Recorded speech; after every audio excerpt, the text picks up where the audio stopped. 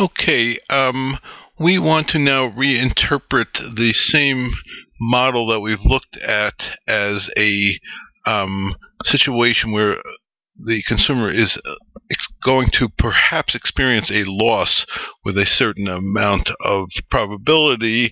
So the good state where there's no loss, the income is 2250, the loss is 2000 and in the bad state they have only 250 what insurance is supposed to do is transfer income from the no loss state to the loss state. So we're going to move down and to the right to um, more equalize income. Insurance shifts income um, over states, like if you remember, borrowing and saving shifted income over time.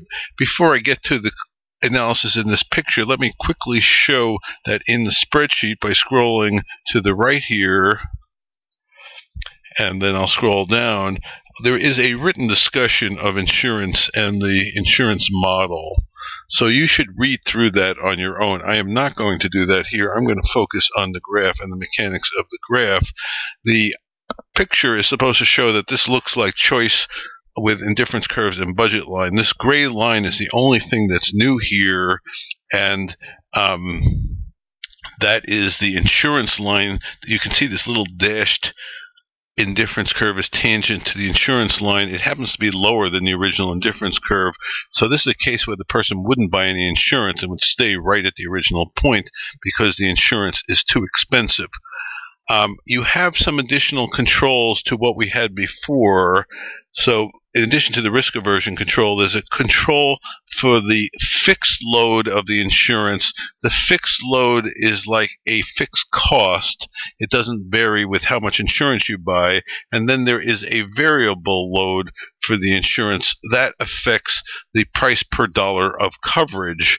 Um, and right now the uh, coverage per dollar is set to be at the same price as the probability of loss.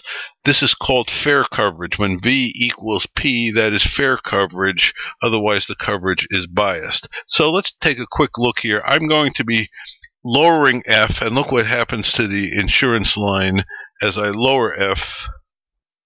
I'm going to lower it a lot and see what happens. So let's lower it quite a bit and lower it still more. Still more.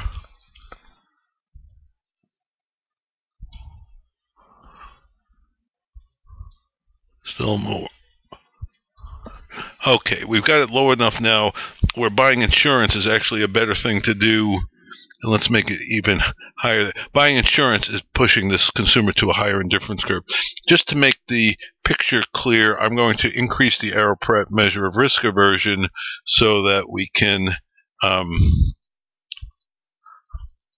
make the insurance um, graph more clear. So there's the insurance line. The consumer ends up choosing certainty under fair insurance, that is the result. The marginal rate of substitution actually equals the odds at the certainty point, and so does uh, the fair insurance um, absolute value of the slope of the fair insurance line also equals the odds, so the tangency point uh, happens at certainty. If I make insurance unfair, and um, let's now increase V so that we actually make V much bigger than P, then the consumer buys less than full coverage. If I make V much less than P, and I'm going to do that now, they buy more than full coverage. And when V equals P, they buy exactly um, full coverage. That's the result to get from this section.